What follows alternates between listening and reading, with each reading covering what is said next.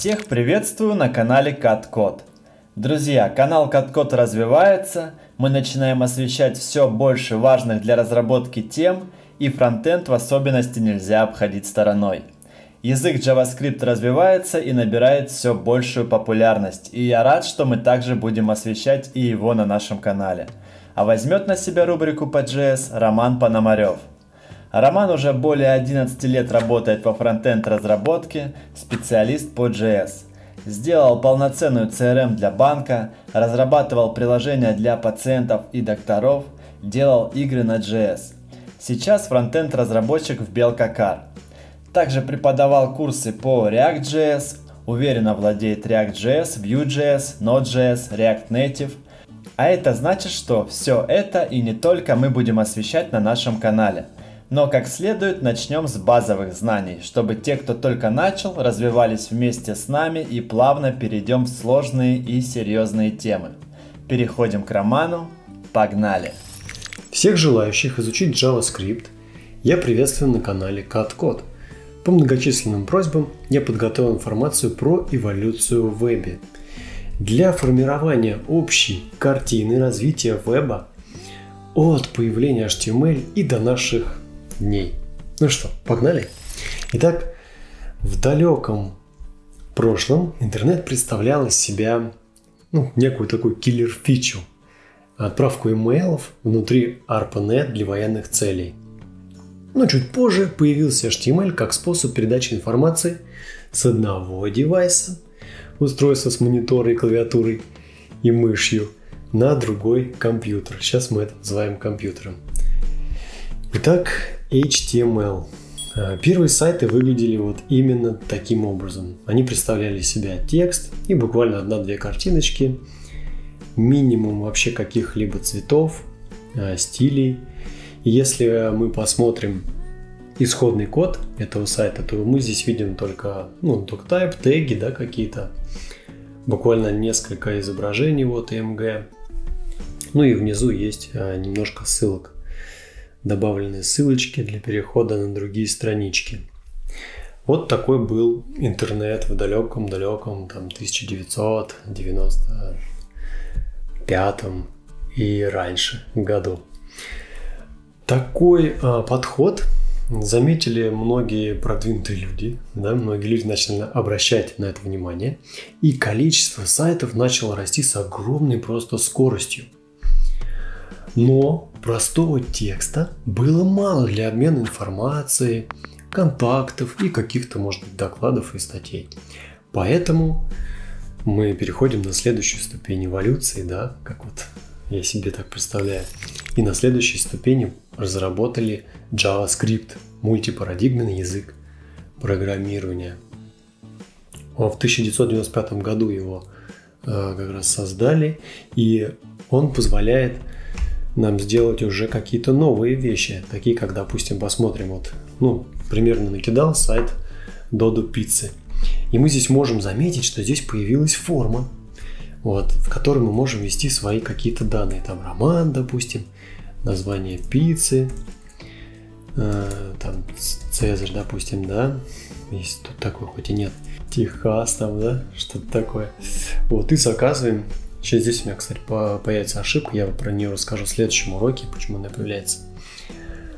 А, ну, смотрите, у нас получается интересный момент, что мы уже можем работать с пользователем, да, какие-то получать от него данные и отправлять их на сервер.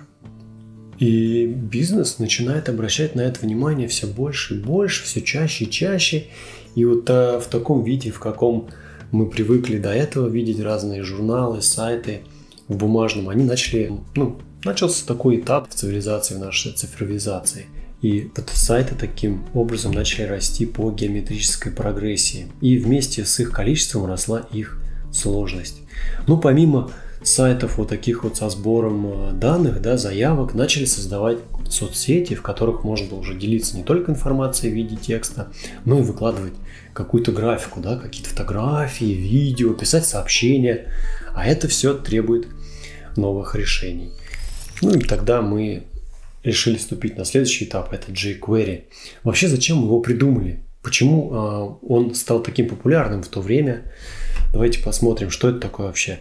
Если мы от, откроем сайт там jQuery, то тут, будет и написано, кстати, о его основных преимуществах. jQuery был разработан из-за того, что появилось много разных браузеров. Допустим, там Google Chrome, э, Mozilla. В то время был очень популярен Internet Explorer, если вы помните. Именно этот браузер называли интернетом. Хотя из-за того, что он, наверное, содержал все слово интернет, все считали, что интернет это именно этот браузер. Ну, конечно же, это всего лишь его название. И, знаете, писать вот разные сайты, ну, такого вида, допустим, э, таким образом, чтобы они работали во всех браузерах, а раньше, значит, распределение было совсем другое. Это сейчас у нас самое популярное это Chrome, и если ты написал свой сайт, который работает в Chrome, скорее всего, абсолютное большинство пользователей будут пользоваться им, и он будет работать корректно. Но раньше такая задача была, нужно было написать свой сайт под все разные браузеры. То есть, как я вам сказал, под Mozilla, под Opera, под Internet Explorer, под Chrome. И вот приходилось изощряться. Ну, jQuery нам этот вопрос решил.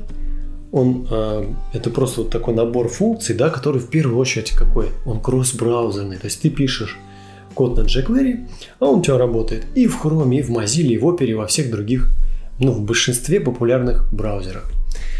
А, плюс вот, э, то есть это помогает тебе экономить огромную кучу времени. Но у него есть, конечно же, свои минусы. Во-первых, он много весит, да? Из-за того, что он много весит, у нас вот э, мы решили как бы пойти на следующую ступень. И следующая ступень, она уже была у нас э, в 2010 даже году, да? И здесь мы уже видим с вами большой был э, скачок, видите?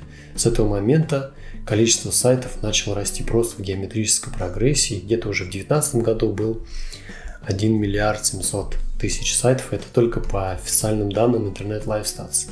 Сколько их на самом деле, конечно, еще посчитать не такая уж тривиальная задачка.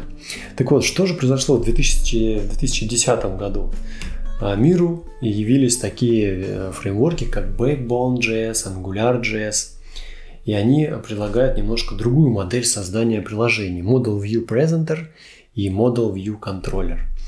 Смотрите, как, как выглядел сайт уже на Backbone. Он выглядит вот таким образом. То есть мы можем создать там какую-то ноду, назвать там title, типа hello, автор, и здесь какой-то текст. И это без отправки на сервер работает на клиенте. Мы можем создать еще много разных вещей. И таким образом вся вот эта тяжеловесная работа, она потихоньку переезжает э, на клиента. Так, что-то у нас тут. Давайте посмотрим, как выглядел сайт на Backbone. Вот, пожалуйста, это получается такой же HTML-код, но здесь у нас уже будут добавлены и какие-то стили, да, Bootstrap добавлен. Здесь уже мы можем работать э, с какими-то моделями. У нас добавляется, как добавляется вообще вот этот Backbone. Просто ссылки на библиотеки, zept, underscore, Backbone, вот как раз сам. Ну и э, файлы, которые отвечают за какие-то там определенные э, вещи да, в этом фреймворке. Здесь вот есть роутер, есть модель какая-то, можно перейти в нее посмотреть. Описывается модель. Ну, ну, роутер, естественно, отвечает за переход, наверное, по ссылкам по каким-то. Да. Здесь вот можно новую создать, можно редактировать там нашу заметочку. И, то есть, смотрите, у нас уже появляется какое-то приложение на JavaScript с появлением Backbone. На Angular я, конечно, не буду показывать пример. Я, к сожалению, на нем мало разрабатывал, но могу сказать, что какие преимущества появились с появлением вот этих э, фреймворков. Ну, мы можем делать уже сложные какие-то приложения, да, я вот лично делал на Backbone VTB24, и э, мы могли там реализовывать конструктор форм, для лендингов, чтобы люди могли там оформлять какие-то кредиты, там что-то такое, кредитные карточки, дебетовые карточки открывать. Все это было реализовано на Backbone плюс. И следующий этап у нас как раз React. Вот у нас был на Backbone плюс React. Такая небольшая коллаба была создана. А чем же э, прекрасен React? Ну, во-первых, в 2013 году, когда разработчики Facebook разработали фреймворк Э, хотя в официальной документации он описан как библиотека. у нас появилась возможность создания SPA, Single Page Application. Если мы перейдем на сайт, допустим, Сбербанка, вот он написан на React. То есть и, и преимущество таких приложений в том, что ты сначала загружаешь, в общем, э, один бандл, а потом ты переходишь по страничкам, и буквально тебе не нужно никаких данных подтягивать. Да, там маленькие какие-то данные приходят, минимальный набор в json и ты их отображаешь.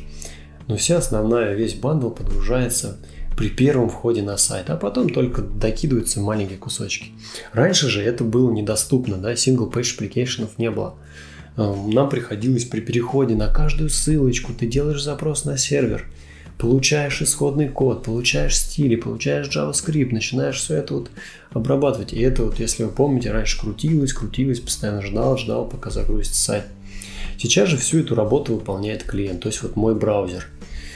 И э, с появлением вот таких single page application React и, или Vue.js, еще и вы, наверное, знаете такого, либо Angular 2.0, мы можем создавать такие сложные приложения, как, допустим, Сбербанк онлайн или там Озон, да. Ну, Озон, конечно, на Vue, по-моему, написан, на Vue.js. Но все же я прям люблю из-за того, что он очень быстро работает. На него заходишь, и у тебя всегда все корректно работает, отображается. Ну, сейчас у меня что-то с интернетом. Само приложение работает идеально всегда. Э, ну, либо там еще какой-то другой, может быть, Wildberries, да, он тоже написан на одном из таких фреймворков, потому что это быстро, это эффективно, ты выполняешь огромное количество работы, и с данными можешь отправлять, получать, отображать клиенту и собирать какие-то данные. Вот могу вам показать, как выглядит приложение на React. На React уже полноценное приложение с э, архитектурой. Здесь есть компоненты, есть там страницы, хуки, хоки, high order components. Есть даже тема подключенная. Ну, вот это мессенджер. Мы с нашими студентами такое создавали.